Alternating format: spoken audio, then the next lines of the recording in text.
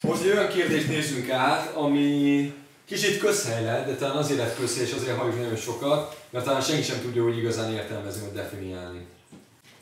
És ez pedig az, hogy egy, szerintetek amúgy lehet a boldogságra lehet írni egy definíciót? Mert figyelj, az iskolában sem az egyetemen nem tanítják.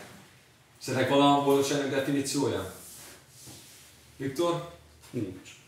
És van, csak nem tudom, most. Jó, akkor menjünk körbe. Mindenki mondja, szerinted mi a boldogság, Viktor? Próbálj meg... Ha jól érzem magam a bőrömben. Jól minden érzem tekint- magam a bőrömben. Minden tekintetben. Anyagilag, érzelmileg, fizikailag. Jó, oké. Szerinted, Bence? Egy mondatban körülbelül. Próbálj meg, hogy, vagy inkább mitől leszel boldog, vagy mi a boldog... Igen. Mi az, ami a boldogság érzetet okozza? Egy, próbálj meg egy definíciót mondani rá. Boldogság a definíciót. Ha minden úgy megy, ahogy Igen, igen, igen, igen. Minden Hát, úgy megy, ahogy minden, amit, a- Én attól amit megálmodtál, amit megálmodtál, amit szeretnél beteljesíteni életedben, azok valóságnak. Jó. Michael Jacksonnak ez sikerült, Britney Spearsnek ez sikerült, uh, ki volt az, aki itt még, ki az, aki Arianát megverte? Chris Brownnak sikerült, Szerintem sikerült. Jó, figyelj, várj, ezért még mind sikerült. Michael Jacksonnak sikerült, elmebeteg lett, átoperáltatta magát, elcseszte a pénzt, azt mondták pedofil, stb. stb. Élete végén, illetve akkor még nem tudod, hogy az élete vége lesz, akkor jött rá az életre, és utána kinyírták. Ez konkrét gyilkosság történt, mindegy, interneten utána lehet járni, hosszú a sztori. Britney Spears teljesen megörült, nem borotválta a haját, ö, pedig minden álma meg volt, ilyen minden pénz ott volt. Mi lehet akkor a hiba? Chris Brown bekattant, ott volt az államnő, agyonverte, lecsukták, börtönben van nem tudom mióta. Mi lehet az oka? Tehát elvileg az, amit most mondhatok, elvileg a definíció alapján sikerült, de mégsem. Van a boldogságnak is egy csapdája. És ezt sehol sem tanítják, és főleg az iskolákban, az egyetemeknek, de van egy úgynevezett pillanatnyi boldogság, vagy álboldogság. Ez, ez, ezek általában olyanok, amikor, amikor ezzel a dologgal együtt vagy, vagy ezzel az eszközzel együtt vagy, akkor boldog vagy, és nem. Szívod a füvet cigit, boldog vagy, aztán nem. Nézed a Sex és New Yorkot, boldog vagy, és nem. Iszol egy kis alkoholt, berúgsz, boldog vagy, és nem. Életed nőjét döngeted, boldog vagy, és aztán nem. Életed szeremével újra találkozol, összejöttök, Malibu, stb. boldog vagy, vége a szemnek, és nem. Ez kicsit olyan ingatag boldogság, nem? Mint hogy ez nem a hosszú távú boldogság lenne, ez ilyen, ilyen rövid távú, pillanatnyi gyönyör. Tehát ezek a boldogság halmazok, ez figyelj, nap mint nap beleesik a csapdába az ember. Amúgy a cigaretta is az. Szívod a cigarettát, boldog vagy, aztán nem. De ezek a rövid távú boldogságok. De kell, figyelj, és kell lennie valami hosszú távú boldogságnak. Érted? És főleg olyan, ami nem, nem roncsol. És vannak ezek a kiégett bulizósok, meg vannak ezek a kiégett sztárok, akik, akik halmozzák az élvezeteket, de nincs meg a boldogság. Nagyon érdekes. És megvan neki. Sőt, ismerek olyat is, aki nagyon szegény volt, az apja mindig megvonta tőle a pénzt, dolgoztat, stb. stb. stb. Sajnos meghalt az apja, viszont nagyon sok pénzt örökölt, tényleg millió eurókat örökölt a nőci, ez most már nem tudom hány éve tart, szoktam vele néha lógni, elviselhetetlen, boldogtalan, és néha van egy-két öngyilkossági kísérlete. A definíciótok alapján ráillik. Akkor mégsem annyira egyszerű azért ez a boldogság, nem értelmezni. Összerak, mi is az igazi boldogság? Boldogságnak több alapja is van. A kulcsszót a végén szeretném kimondani, ami az én egyik észrevételem, hogy mi a boldogság. Lehet, hogy nektek más az a definíciótok, én ezt megpróbáltam leegyszerűsíteni. A boldogság egyik nélkülözhetetlen valós eleme, a, és az igazi boldogságok, amiket, amiket ha csak pillanatnyi és magas fokon át tudunk élni, mindegyiknek az eleme a szenvedés. Hogyan lehetséges ez? Egészen addig nem tudod értékelni azt a gíroszt, amit mondjuk most megettünk, hogyha mondjuk nem álmodoztál volna egy évet az- azért a gyroszért. Mennyire jobban értékeled azt az egy darab gíroszt? Fú, de vártam, hogy megízeljem ezt az ízt. Vagy, vagy mennyire más az, amikor megszenvedsz egy balis útén, amit kitűztél célnak, és öt évet dolgozol azért, hogy végre elérd azt a színvont, és el, elutaz balira. Tehát a szenvedésnek van egy boldogság oldala, tehát a, a, a szenvedés, a, a, a tragédiák átélése, a fájdalom, az kötelező része a boldogságnak. Tudod miért? Mert értékbesülő leszel. Értékbesülője leszel a boldogságnak. és ahol minél nagyobb a szenvedés és a fájdalom, és át tudod ezt élni, ott minél nagyobb tud lenni a boldogság. És nem attól fog függni, hogy mennyi pénzt keresel, hány nőt döngetsz meg, hány darab kocsid van, vagy hány darab cigarettát szíszel, vagy hányszor rúgsz, vagy hányszor tévsz, vagy hány darab szex és New York nézel meg, nem attól fog függni, hanem az érték becslésed lesz a helyén. Tehát például uh, láttam egy baromi jó videót, ahol egy kisgyerek uh, adott nekem egy új értékbecslést, és ez úgy nézett ki, hogy elkezdett esni az eső. Ez egy kisbaba volt, két-három éves. És képzeljétek el, ez a kisbaba nem nagyon látott még esőt, vagy nem nagyon volt még kinesőben. Teljesen lerőkönyödött a baba, fenn van a, a videón, és iszonyúan visongva szalg az esőbe, de percekig. És így azt, hogy teljesen el van szemülve. Érted? Hol örülünk egy ilyennek?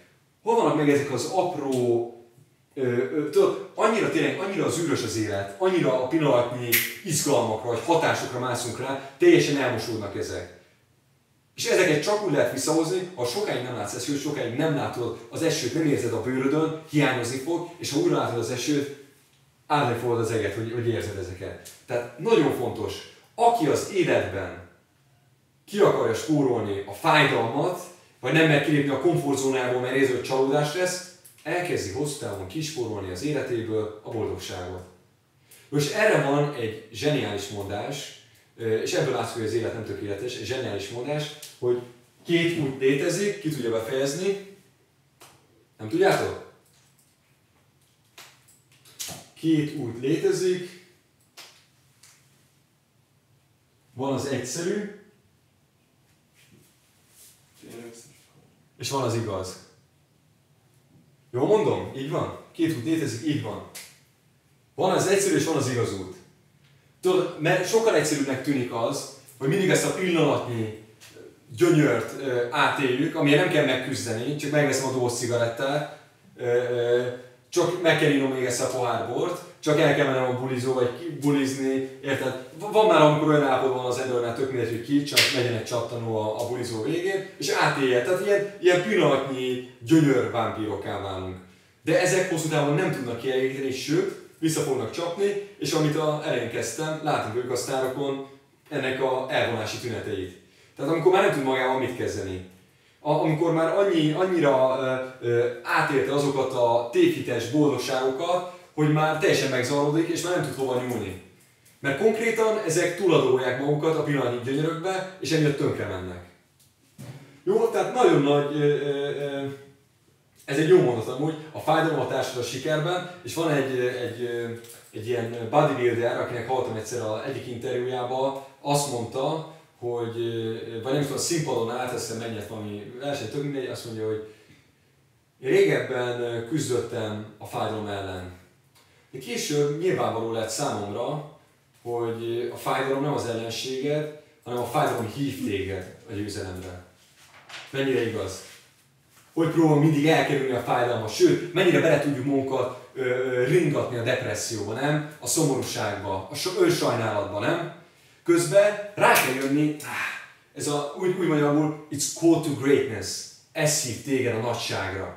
Ez hív téged a, a valós boldogságra minél lejjebb vagy, minél lejjebb éled át ezeket a szenvedés fájdalmakat, annál feljebb is tudsz menni, és annál tovább is ott tudsz maradni. Érdekes, minél lejjebb vagy, és minél tovább vagy a lenti részen, annál tovább tudsz fent is maradni.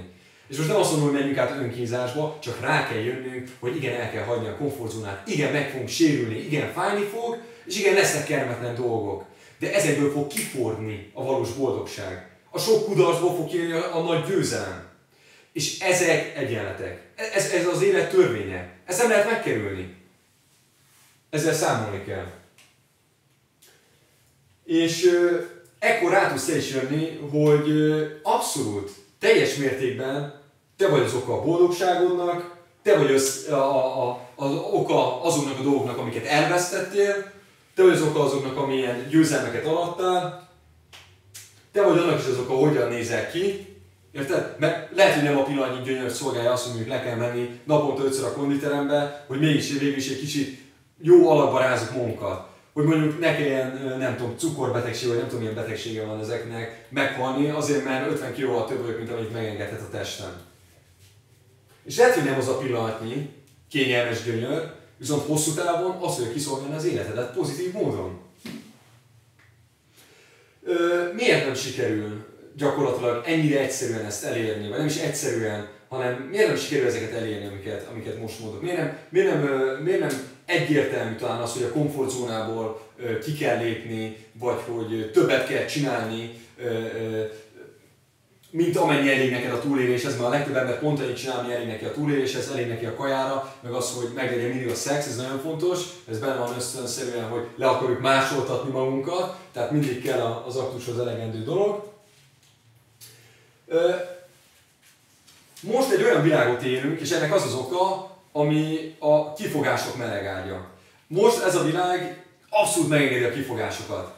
Akármivel mindig tudsz panaszkodni, érted? És most rászoktunk arra, hogy eleget teszünk a panaszkodásnak. Rászoktunk arra, hogy vannak mónikasok, ahol kibeszélhetjük a problémáinkat, és csámcsoghatunk rajta. Rászoktunk arra, hogy a kifogás elfogadható. Hogy, hogy jó kibeszélni, hogy jaj, és akkor megint az a hülye gyerek, mindig ő a hibás, nem én vagyok a hibás, és mindig a kifogások elfogadhatóak kezdenek lenni, sőt, jó fej vagy, ha kifogásod van, hogy megint miért rúgtál be, hogy megint miért, miért jöttél össze a 29. emberrel, miért nem tudod magad egy kicsit megállni, egy kicsit fejlődni, mert, mert ha azt hiszitek észre, néha ha igazat beszélsz, akkor olyan undorra, jaj, hagyjad már ezeket, tudod, és akkor már te vagy a gáz. Igen, belekezdtem egy vállalkozásba, és mit mondanak rá az emberek, jaj, nem jött be.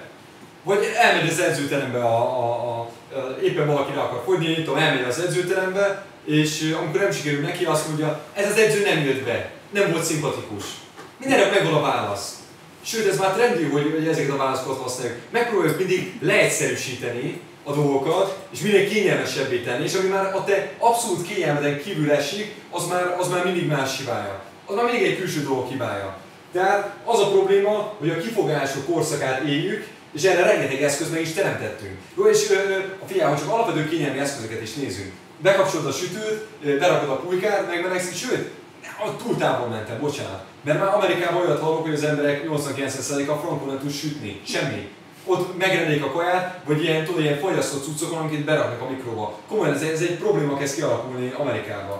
És amúgy most már, és most ezt hasonlítsuk össze egy olyan kényelmi tényezővel, hogy a középkorszakban vagyunk, ott vagy te, 35 éves apuka, 5 gyereked van, abból nem bocsánat, hárman meghalt, kettőt vaddisznó ölt meg, érted? Ott vagy, mint apuka, és ha ma aznap nem vadászol, most aznap nem, ma nem vadászol, nincs kaja. Ha most nem mész el dolgozni, vagy nem mész ki a, a földre és szedsz kaját, lehet, hogy ilyen haltod. Hasonlítsuk össze a két kényelmi tényezőt. Mennyivel kint volt a komfort, várják, és nyilvánvalóan akkoriban nem haltak ilyen az emberek, tehát kiment és ameddig tudott dolgozott, vagy, vagy addig nem jött haza a vadászásból, ameddig nem volt valami kaja, vagy faleveleket ettek, vagy mit tudom én, fakérget, érted? Megoldották, mert meg volt rá a megfelelő nyomás. Nem voltak meg rá azok a kényelmi eszközök és azok a kifogási tényezők, amik ma most megvannak. Nyilván ez az e- evolúcióhoz hozzátartozik, nyilván változik az idő, tehát megengedi azt, hogy, hogy, hogy már fejlesszük ezeket a dolgokat, minél kényelmesebbek legyünk. Tehát vannak ezek a vicces gifek, ezek az animációk, hogy fekszik az ágyba, és akkor odaírja valaki, hogy napom. És akkor fekszik az ágyba valami kisgyerek, szerencsétlen, eszi a chipset, full izé, szarul néz ki, és megy a tévé, és egész nap. Akkor napom. És, akkor, és ez is már divat lett, értitek? Ez tök nagy divat. Ez divat, hogy lusta vagy. Sőt, vannak ilyen lusta klubok is, amiket láttam már Facebookon. Komolyan a lustaságra hoznak fel idézeteket, meg érveket, hogy miért jó, hogyha lusta vagy, mert mit tudom én, valaki múltkor kiment az utcára, és tényleg tégbe esett a fejére. És ilyen extrém sztorikat eh, posztolnak ki, és egymást biztatják arra, gyakorlatilag, hogy ja, látod, az meg hiába próbál. Sőt, ha elbuksz vállalkozásba, be is mondják az arcodba. Látod, én megmondtam neked, megmondtam neked ezre, ezt baromi okos. Én megmondtam neked, és erre itt van amúgy, ha már nyomásról beszélünk, egy kínai nő, ö, olvastam a sztoriát, meg is olvastam a csoportba, ez a kínai nő, ö, ez egy gyárban dolgozott, és napi egy dollárt kapott. Ez full story, HVG. Ö, egy dollárért dolgozott, és ö, egy kicsit elege lett. És elkezdett gyűjtögetni, és a családjától össze-vissza kölcsönkérni, hogy megalapítsa az első cégét. Miért az első cégével? Tönkrement. Ott volt neki a kiugrási lehetőség. Fájdalmas volt neki? Családi pénzt elbukni? Családi pénzt elbukni Kínába. Úgyhogy napi egy dollárt kérdez. Fájdalmas volt? Szar lehetett szembenézni a család joga? Biztos. Csinált még egyet. Újra neki futott. Azt mondta, most meg fogom csinálni. Árukat kezd el közvetíteni a nő. Mi történik pár hónap múlva? Csődbe megy, felszámoljuk a cégét. Azt mondja, nem baj, még két évig elmegyek ide dolgozni, most már úgyis jobb a napi bérem, újra összegyűjtök egy cégre, újra elkezdem, mert nem fogom leélni egy milliárd ember között az életemet rabszolgasorsban. Nem fogom elfogadni. Többre vágyok. Megcsináltam a harmadik céget is, mi lett velem? Még egy kicsit tovább értem, mint az előző, bukott. Hanyadik cég jött be neki? 11. 11 felszámolt cég után Kínában egy milliárd ember közül, ez, ez, a, ez egy hölgy amúgy, 40 vagy 50 valány éves korára elérte azt a pontot, nyereséges lett a cége. Ő most jelen Kínában a egyik legvagyosabb asszony, aki a legtöbb pénzt keres. 11 cég után, mit tudom, ez 20 év. 20 év bukás után. Tök jó, olvastam a nyilatkozatát, tudod mit mond? Két dolgot tanult meg. A bukástól nem kell annyira félni, tehát nem kell annyira magadat alá tenned, amikor buksz, az tanulási idő, és ha nyersz, tehát sikeres vagy, annak pedig nem kell ennyire, mit tudom én, például ezek a 50 cent, meg ezek tudod, akik csak arra mennek, hogy mindent kiraknak, megmutatják, hogy mennyire sokat kerestek. Azt pedig nem kell ennyire túlihegni. Ez nagyon fontos, hogy nem szabad ennyire kivenni. Amit ugye mondtam, az a álboldogságban is, nagyon ingadozó a boldogság. Figyelni kell arra, hogy nem szabad ennyire kivenni, ő is ezt mondta. Nem kell, bele, ez is divat most. Van ezek a filmek, boros pohárra az zuhanyzóat, iszol, teljesen kivaj, és még már lemosodik a nőnek az arcáról, bőnek egész nap. Ez most divat. Divat az, hogy azt mondják, hogy csövesből lett milliárdos és kocsiban. Ezek divatok, hogy belerovaljuk magunkat a kudarcba, és ebből mi, mi vagyunk a hős, aki elszenvedő ennek, de amúgy végül nem is állunk fel, csak ez is megjelenik magunknak egy kifogás. Filmekben is ez van, filmekben sincs mindig happy end, a filmekben is mindig egy átlag ember, mégis átlagos kifogásokat megjelennek, én is megengedhetem magamnak. Hogyan lehet ezzel nem tenni? Ö, annak ellenére, hogy a kifogások korszakát éljük, ugyanakkor a lehetőségek korszaka is van. Tehát annyi eszköz, ö, ö, ami, ami most ahhoz vezethet, hogy te pénzes legyél, az soha nem létezett a világ történelem során. Annyi pénz, ami most átfolyik az embereken, soha a világ történelem folyamán nem létezett. Soha ennyi pénz nem volt forgalomba a világ történelem során. Tehát annak ellenére, hogy nagyon sok kifogásunk van, annak ellenére a lehető legtöbb lehetőség kapujában vagyunk. Mi az, hogy 250 dollárból el lehet indítani egy vállalkozást, és passzív jövedelmet és profitot lehet csinálni. Mert volt itt olyan ember, aki az első hónapjában 400-500-600 ezer fontot keresett. Érted? Van ilyen lehetőség a középkorban? Oh, paraszt vagyok, írni, olvasni nem tudok, csinálok egy vállalkozást, érted? Hogy 10 óra be kéne fektetni, hogy valami elinduljon, érted? Ha közben nem, nem viszi a farkas a kecskét, vagy a juhot, vagy akármi, ha közben nem kap olyan leprát, ha közben mit tudom én nem csúszok meg valami szardalban, és a köveken nem zúzom szét magam, mit tudom én, mennyire, mennyire több akadály volt. De ott is megcsináltak, ott is lettek gazdagok, csak ott nagyobb volt a motiváció, nagyobb volt a nyomás rajtuk. Jó?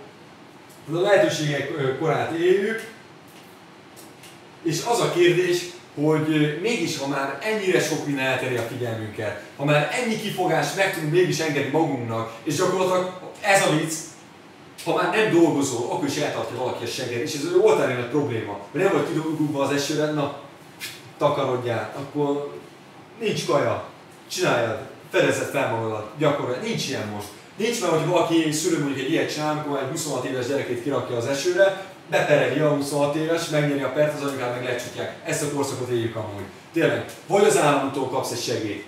Botrány. Jó, és várjál, és az a durva, hogy mennyire, mennyire divat lett az is, hogy magamat is becsapom. Van egy csöves itt a Móri Zsigmond környékén, amúgy az állával szembe, a piacán szembe. Ö, nagyon híres, rengetegen megosztották Facebookon. Gondoltam, hogy én is megosztom, csak egy kicsit más környezetben akartam róla írni. Ez a pali, ez parafadugókból csinál kis állatkákat, gyufát szúr bele, és kifesti, ilyen kis kifestővel, sárkány csinál, kiskutyát, stb. És láttam, hogy valamelyik műci ezt lefotózta, és odaírta, óriási a nyomorúság Magyarországon. Nézd meg ez a szegény csöves, mire kényszerű. Parafából dugót csinál, hogy van annyi parafadugója, van, hogy pián, mint az atom. Érted? Vagy gondolkozunk már egy kicsit, parafadugóból csinálja persze nálam be van nyomva. Na mindegy, abból csinálja, és gyufákat ragaszt be, és hogy lehet, hogy gyufából persze folyamatosan dohányzik, de mindegy, és ezeket adja el. Nem kér érte pénzt, nem, nem kér érte pénzt, ha adsz, de ő mindenkinek adja ezt a parafadogó semmire nem jó szar. Szóval ennyire vicces, hogy valahol elindulunk az evolúció útján, amikor van rajtunk egy evolúciós nyomás gyerekként, tehát gyerekként rá vagyunk kényszerítve arra, hogy megtanuljunk járni és beszélni. Ha nem tanulsz meg beszélni, nem tudsz beszélni az anyáddal, érted? Meg az apáddal Akkor nem láttam még olyan felnőttet, aki nem tud meg gyerekkorában beszélni, nem? Kivel aki néma. Nem? Tehát van rajtunk egy evolúciós nyomás. A gyerek el akarja venni a kapcsolatot a külvilággal. Az oá, oá már nem elég. Meg kell tanulnom, hogy apu, anyu, mert, mert akkor tudok szólni, hogy anyu, éhes vagyok, és akkor számba rakják a kaját. És amikor már ez sem elég, tovább kell felülnöm. Van rajtam egy evolúciós nyomás. Érted? Csak az a baj, hogy ez 16-17-18 éves korodban eltűnik.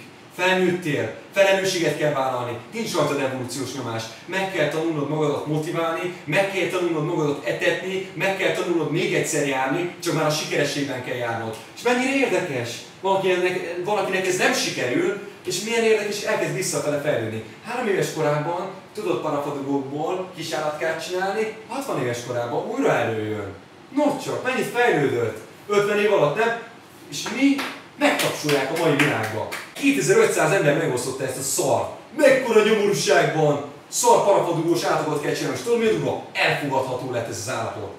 Ekkora a baj. Elfogadható az az állapot, hogy 50 év alatt nem az, hogy fejlődött, visszafejlődött. Tudod miért? Mert most már beszélni sem tudom, amikor full be van rúgva. Sőt, már járni sem. Ó, oltári, nem? Mennyire visszük? És ezt elfogadja a társadalom. Ennek segít kell adni. És azt mondják, félmillió munkanélküli van. Könyörgöm, végig megyek a Fehérvári úton, két-három táblát ne fogunk nekik fotózni, aki még egyszer azt mondja, hogy munkanélküliség van, hogy eladót keressünk, eladót felveszünk. Túl sok ész nem kell hozzá, érted? Kommunikálnod kell, és péksüteményeket kell zacskóba raknod, és számokat kell beütnöd egy négyzetes gépezetbe, egy blokkot meg odaadni a másik embernek. Munkanélküliség van, óriási a szegénység, érted? Szóval régebben milyen érdekes, és nem nagyon hivatkoztak erre a parasztok, mert munkanélküliség van. Vagy fejbe lőtték, levágták a nyakát, vagy éhen volt. Ez a három opciója volt. Most már nincs ilyen. Már megengedhetjük magunknak ezeket a kényelmi tényezőket. Jó, de mi azért vagyunk itt, mert ezzel nem elégszünk meg. Az akkor valami motivációt meg kell tanulni. A célkitűzés ennek a része, de nagyon kevés. A Mercedes meg ez egy bullshit. Millió ember, mindenki válik Mercedesre, érted? Mégsem éri el. Evolúciós nyomást kell magadra helyezned, érted? Felem kockáztas egy olyat, hogyha olyan nagy szarban legyél, hogyha nem csinálod meg, meghalsz, leszorom, legalább működni fog és sikeres leszel. Én amúgy elmondom neked egész életemben, amit csak tudom, 40-szer kockáztatom olyat, hogy minden vagy semmi. Ebből 40-szer, 39-szer elbuktam. Jó, de most már 23 évesen tartok, ahol tartok. Értitek? Mert a kockázattal mi mit csinálsz? Kirököd magad a komfortzónán kívülre. Puff! Csináld! Na, csináld! Fújj, fújj terep, ha hibázol, bukod a lakbért, vagy bukod a lakást, bukod a kaját, bukod a kapcsolati rendszert, bukod a pénzt. Újra meg kell alázkodnod, vissza kell menned a szüleidhez, vissza kell könyörögni, kaját kell ö, letarhálni, és így a nullából kell újra valamit felépíteni. Emlékszem amúgy, hogy négyen vagy öten laktunk egy, egy albérletben, ami nem négy vagy öt főre lett volna teremtve. Rohadt szar volt, mert ott volt, aki hajnali kettőkor feküdt le, volt, aki már nyolckor lefeküdt volna, volt, aki hatkor kett, volt, aki délben, és össze-vissza volt, nem volt életritmusod. Jó, de nem voltunk kényszerülve. De várjunk, amikor meghoztuk azt a döntést, hogy beálljuk a rizikót, akkor tudatában voltunk a következménynek is, hogy igen, ez lehet, hogy elő fog fordulni. Tudatában voltunk és felelősséget vállaltunk azért, hogyha ez előfordul, ki fogunk ebből mászni. És nem az történt, ami rohadt nagy divat, fetrengtünk a mocsárba, tudod, sajnáltattuk egymást, nyalogattuk a izé, sebeinket, dolgoztunk, mint az atom. De várj, nem volt pénz a zsebemben, műanyag asztaloknál tárgyaltam. Sőt, volt, amikor azt mondtam, hogy jó, hogy találkozunk és sétáljunk. Érted? Mentünk valami játszótép fele, tettünk egy kört, közben elmondtam neki az üzletet. Ez így ment, így épülgetett. És emlékszem, ez különösen jó sztori, volt megint, amikor hoztam egy nagyobb döntés, brutálisan le voltam még be, brutálisan buktam, azt mondtam, hogy üzlet össze fog jönni, több hónapot beleraktam, kiégtem, nem ment tovább, kiraktak az albéletből. Iszonyú kínos amúgy egy ilyen helyzet anyámhoz tudja, hogy már nem akartam visszamenni, haverokhoz bekényszerülni szar lett volna, viszont csináltam egy olyan network akkor, hogy volt utazási bónuszom, tehát ilyen voucher amit el tudtam volna utazni. És valami fullgagyi szar hotel részen Budapesten, a, ahova ezt elköltöttem gyakorlatilag ezt a pénzt, nem tudom, egy két vagy három csillagos hotelbe, ahol reggeli volt. Figyelj, ott laktam konkrétan a hotelben, hát jó, nyilván volt brutál kényelmes, de hotelben laktam, és emlékszem nektek, hogy reggeli járt a hotelhez, és a, a, a, a, na, mi ez, a hotelszobához. És ezt direkt néztem, hogy reggeli jár hozzá, mert nem volt lóvém kajára. Érted? És emlékszem, amikor reggeli volt, reggel 60 kor felkeltem, akkor nyit a reggeliző kapu, beültem reggelizni, belapátoltam a kaját, visszamentem a szobámba, leültem egy órácskára, megint visszamentem 8-9-re, megint belapátoltam, emlékszem, már dagadta a hasam, oké, okay, fú, este hétig ezt tudni kibír, és elmentem dolgozni. És ezt csináltam egy hónapon keresztül. Elmondom neked, ilyen életem volt. Nem volt lóvém, meg kellett várnom, hogy megjön a jutalékom. Akkor újra egy networköt kezdtem el, hála az Istennek, amúgy az egy gyorsan kis pörgött, volt motivációm, tárgyaltam, mint az atom. Érdekes, nem jutott eszembe kifogás. Nem jutott eszembe az, hogy jaj, biztos nincs kivasalva az ingem, na náhogy nem volt kivasalva, értem, én nem tudom, hogy vettem ki, nem volt ilyen opció, hogy mossak például. Ö, jaj, biztos, hogy nincs kivasalva az ingem, nem fog belépni. Biztos nem veszek neki hiteles, nem fog belépni. Nem érdekeltek ilyenek, mentem előre. És érdekes, a legelső belépőm, képzeld el, utcán leszújtott egy csaj, ilyen parfümárus volt, és elkezdtem vele dumázgatni. És annyira jól dumázgattunk, hogy a végén aztán bejött Facebookon, és utána valahogy, nem tudom, összekeveredtünk, találkoztunk, fél millió forintos csomaggal lépett be alám, már abból volt egy törékom, hogy végre ki tudtam szállni ebből a szaros hotelből, és akkor is hiszem, hogy lakótárshoz hozzácsapottam egy ideig. Tehát érdekes módon mindig megoldódott valami, csak meg volt a nyomás, meg volt a kockázat. Érted? És nem azt mondom, hogy legyetek felőletenek, dobálózzatok a pénzzel. Én azt mondom nektek, hogy, hogy ki kell ebből a lápos, iszapos szarból szabadulni, és hogyha ez nem megy, és nem elég, nem elég a motiváció, meg nem elég a, a, az ösztönzés, vagy a célkitűzés, ami kijöjjön ebből, csinálj egy olyat, a, a, hoz egy olyan döntést, hogyha nem dolgozol, akkor, akkor rohadtul megszívod. Inkább hoz egy ilyen döntést. Komolyan. Én érdekes módon igazán nagy sikert nem hallottam még úgy, hogy középátlagos fostelicska fizetésem volt, de eldöntöttem, hogy elkezdek egy üzletet, és milliárdos lettem. Életemben nem hallottam ilyen sikerszorít. Nem, nem is tudom, hogy egyáltalán létezik-e. Valahogy ezt a mélységet ezt át kell élni. És mondom, aki ezt meg akar spórolni, az bajban. És várjál, nagyon fontos. Vajon szomorú voltam, amikor hotelben kellett laknom? Vajon szar volt, amikor kiraktak a lakásból? Szar volt pénz nélkül az utcán sétálgatni, kóvályogni. Sőt, még emlékszem, szilveszterezni sem mentem el, hanem csak sétálgattam az utcán és néztem a tűzi játékot. Nem is mertem volna felvállalni magamat. Figyelj, szar volt? És várjál, most mondom a választ. Kurvára nem. Elmondom neked, rohadt boldog voltam tudod, rohadt boldog voltam, mert a céljaimért tudtam élni, a vágyaimért tudtam élni, és tudtam, hogy amikor meghozom azt a döntést, ami ebbe bele fog sodorni, ez egy rizikós tényező volt, amit elfogadtam az én, amikor belekezdtem. Elfogadtam, hogy ez benne lehet a pakliban. És elmondom, én nem voltam szomorú. Depressziós sem voltam. Én emlékszem, én emlékszem, hogy néha röhögve sétáltam az utcán. Már magamon röhögtem. Tudnátok, izé, forintom nincs, és tudnád, hogy izé, így, így élem meg ezeket a napokat. És senkinek tűnje nem volt. Ez pedig amúgy a művészet része talán.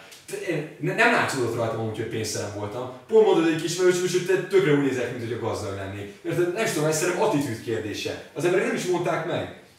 És, és emlékszem, volt egy csaj, aki csókolódott is velem, mondtam neki, tudta, hogy milyen helyzetben vagyok, hogy ja, és tényleg, és na és amúgy jó ez, így boldog vagy? És gondolkoztam, hogy azért fel se tettem még ezt a kérdést. Igen, boldog vagyok. Boldog vagyok, mert azon az úton vagyok, amit választottam. Igen, ez, ez hozzá tartozik. De amikor egy hegymászó eldöntő, hogy felmászik a Himalájára, nem duzzogva megy végig a Himaláján, nem, hogy hú de hideg van, mindjárt lefogyatták, mit csinálják. Ezek imádják, amit csinálnak. Ez a szenvedélyük. Legyen a szenvedélyed a siker. Legyen a szenvedélyed az a cél, amit kitűzöl. Ez az evolúciós nyomás, amit te be tudsz magadra rakni. Ezt kell megtanulnod, ami gyerekként kötelező nyomásként továbbít, hogy megtanulj beszélni. Legyen ez is egy olyan nyomás, hogy te megtanulj üzletelni. Megtanulj felépíteni egy komoly vállalkozást.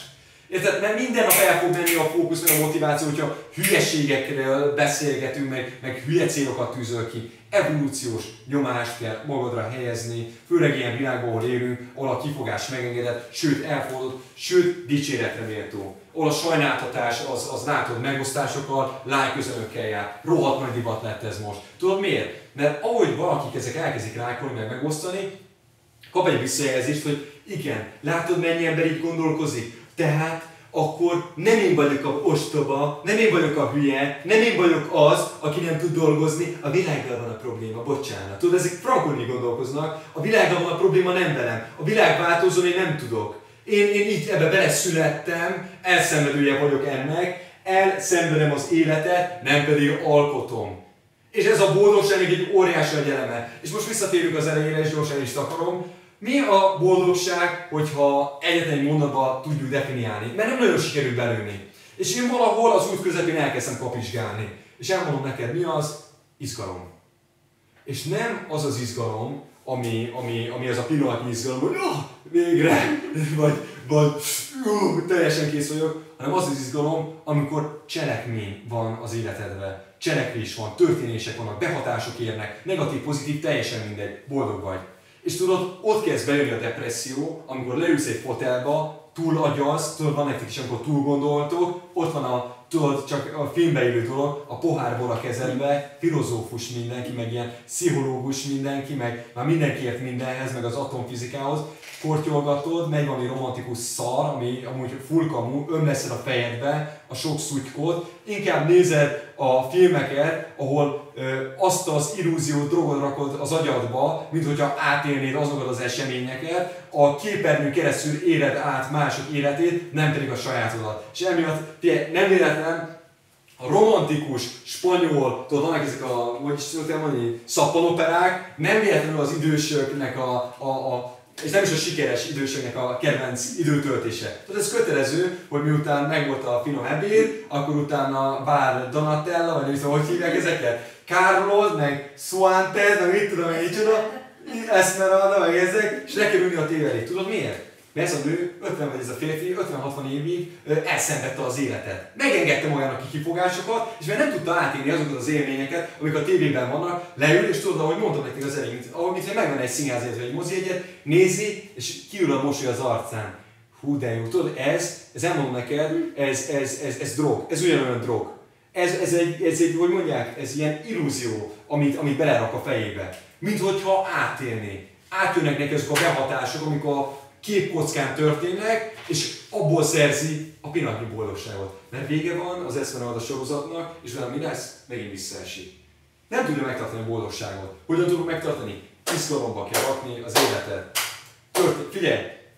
És ez kiírtja a halogatást. Én elmondom neked, ö, ö, ha kell, csinálj szarmunkát. Ha kell, csináld szarul, ha kell, cseszd el, ha kell, számolják fel a 18. céget is, de hidd el nekem, sokkal boldogabb leszel, mint az az ember, aki ülni fog, és nézi az eszmaladát, vagy az az ember, aki ülni fog, és óriási nagy túlgondolásokon, több fölösleges gondolatok ütik a fejét, porozgatás közben, sokkal több behatás, kapcsolat, érintés, valós ölelés, valós barátság, valós késfogások fognak téged érni. Sokkal több. Érted? A pillanatokat át kell élni.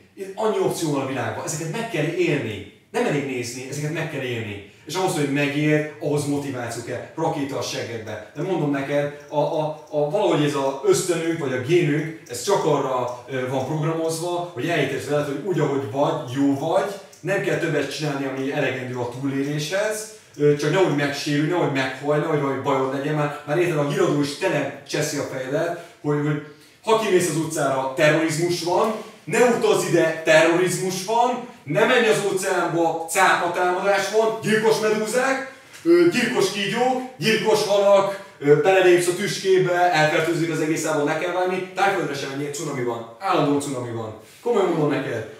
Tudod, és a végén már nézel, és tudod, lesokkolsz a híradó előtt, hogy hogy bakker, akkor eljön egy dolog, ami van, hogy itthon vagyok, de talán még ez sem jó választás, mert itt is tökre szarok, hogy belecsap a villám, betörőjön, tudod, és tök jó amúgy, mert ez amúgy célja valamilyen szinten sajnos az irányító rendszereknek, hogy amikor félve van az ember, fél, akkor elszenvedi az életet, tehát nem alkotja az életet, és akkor lehet befolyásolni, lehet irányítani. Miért? Mert te tudod feldobni a megoldást. Ö, jaj, izé, össze vagy szarva, hogy mit tudom én, nem megy az utazás, semmi baj. Vedd meg ezt a DVD-t, nézd meg Tájföldnek a gyönyörűségeit. Jaj, izé, mit tudom én, be vagy szarva, hogy ez is ez nem működik. Harap bele a csoki szeretbe. Nézd mennyire boldog egy család, hogy eszi ezt a csokit. Jaj, nem működik, ez tudod, és ki felkínálja a megoldást. Rögtön, fogyasz, legyél rabszolga, napi 8 óra, 250 ezer forint a limit, tudod, és ezért mennek be az agyakba, és annyira elhiszik, hogy amikor te akarsz változtatni, te leszel a bocsák. Azt mondják, micsoda, te hülye vagy, ez nem így működik. Észrevetted már? Eldöntöd, hogy változtatni akarsz, foggal körülmel lebeszélnek arról, hogy ezeket sikerüljön. Miért? Mert ha neked sikerül, akkor az mit eredményez? Mit, mit mutat? Az ő végig hazudott. Becsapta magát. Kamuzott. Bullshit volt, amit mondott. Ő neki csak az önigazolás kell ide, neki csak az önigazolás, tök mindegy, hogy apád anyád, az önigazolás kell neki, hogy ő ahogy van, úgy jó. És szerencsétlen csöves arra kényszerül, hogy parafadugóból csináljon játékszereket. Érted? És, és neki csak annyi kell, hogy ahogy ezt megosztja Facebookon, megkapja azokat a bizonyos lájkokat, ami neki elég ahhoz, hogy igen, ők is így gondolják. Akkor tényleg nem kell semmi sem csinálni, nem én vagyok a hibás.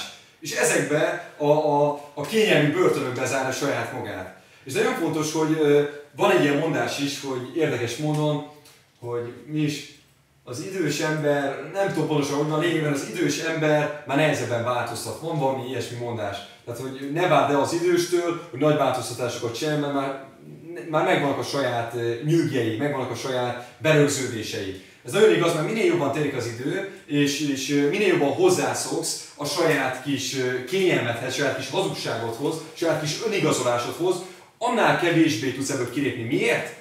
Azért, mert megtanulod azt, hogy hányféle kifogás jelzi vissza neked azt, hogy igen, igazad van.